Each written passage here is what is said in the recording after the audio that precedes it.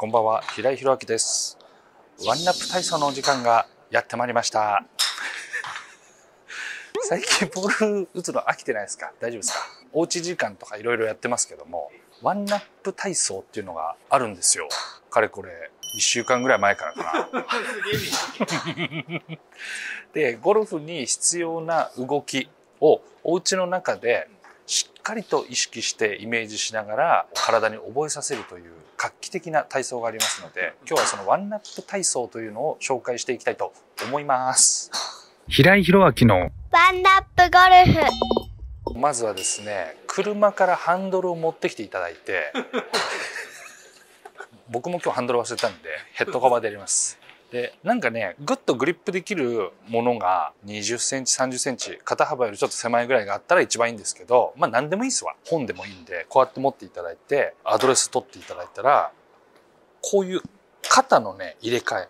こう腕を肘を曲げないでこうやって肩の入れ替え。こういうことよね。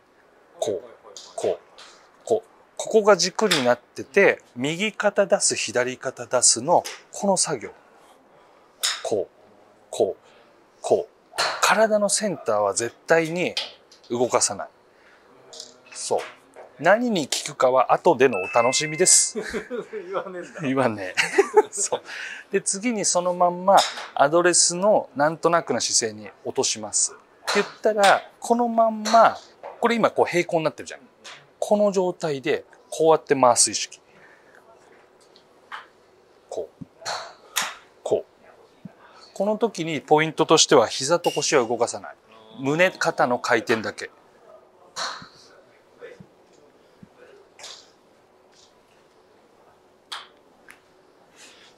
ほーらもう体熱くなってきたでしょ。もうめっちゃくちゃ今僕熱いです。それメディスでいい。できれば。一番いいかもしれない、うん、次に今の動きをやったら右側バックスイング側に上げた時に右肘を畳みます。でこういう状態の時に左腕が地面と平行なった時にこれがこうやって平行物が平行になるぐらい。で反対側もこう右腕が伸びた時に左肘が少し畳んでて物がこう地面と平行。こうこうこうこう。こうこう。でこの時は腰の回転だったり膝のちょっとのアクションっていうのを上につられた分だったら動いていい。絶対自分から腰と膝は動かしちゃダメ。上がきついから下をちょっと付け足してあげるぐらい。そう。この動き。この動き。そう。でこれが上半身のすごいワンナップ体操のいいところね。で次に下半身いきます。でこの状態でスタンス幅が1メーターぐらい。でお尻を一番高くして膝を伸ばします。そっから膝だけ軽く曲げてあげる。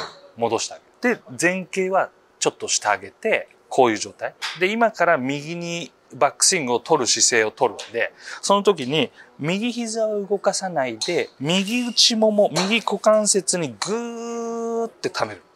この時に背筋は伸びたまんま右足はアドレスから変わらないまま動かないでギューッとキープする。10秒間。その時に右太ももの後ろのここねここがパンパンに張るぐらい。それはキープできてますよと。これがパワーね。で反対側も一緒。左側行く時も左膝を動かさないで左内ももにグーって負荷をかけるこうやって。そうここの時も背筋は曲げない。で膝をキープしたまんま太ももの後ろ触るとパンパン。これも10秒間ぐらいキープ左右。でこれの入れ替え。ギューって。この時にこうやって膝を伸ばそうとしてもいい。こうやって。そうすると余計に腫れるから。そう。ぐーって深くして膝をゆっくり伸ばす。きついね。そう。それがこう股関節のこう入れ替えの方法。これがやってあげた方がいいのと、あとはクラブを、これ今7番や担いでるんだけど、胸を張ってクラブ担いで、これも肩だけ意識は回転。肩、肩、肩、肩、肩、肩、肩、肩、肩。そう。こういう、まあ、ストレッチ感覚で肩の回転をこうスムーズにしてあげる練習っていうのはすごい大事。これはね、お家の中でね、結構やってあげた方がいい。まあでもこれいいよね、これ。これすごいいい。どんな効果が？あるか答えは？これ？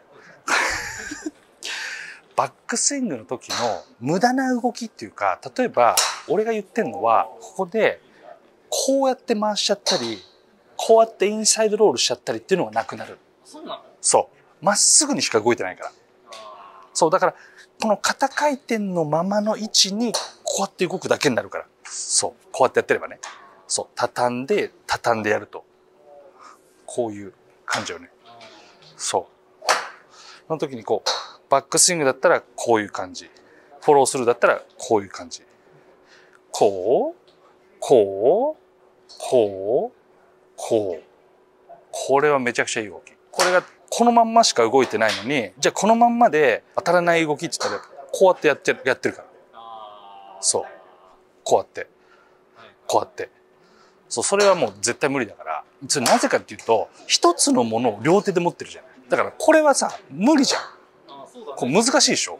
だから、なるべくこのまんま変えない状態でこうやってキープしてあげたら、フェースは狂わないってことなんだよね。これ特に初心者の方にやってもらいたい。無職の方にどんどんやってほしいから。そう、だからシンプルでどこまで上に行けるかっていうのを多分びっくりしてもらいたいわけよ。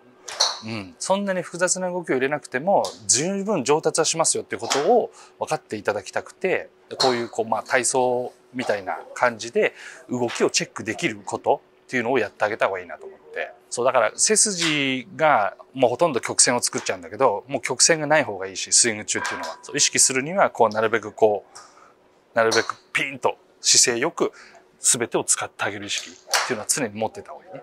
で、今回体操としてワンナップ体操をやっていきました。気に入っていただけたらチャンネル登録とグッドボタンの方よろしくお願いいたします。最後までご視聴ありがとうございました。この度ワンナップゴルフのオンラインサロン始めました。セクシーショットありのマル秘映像ばっかりでございますので是非興味ある方は入会していただいてですね知ってる？あれ？っていうネタをですねコンペとかで言っていただければと思いますので是非ご入会よろしくお願いいたします。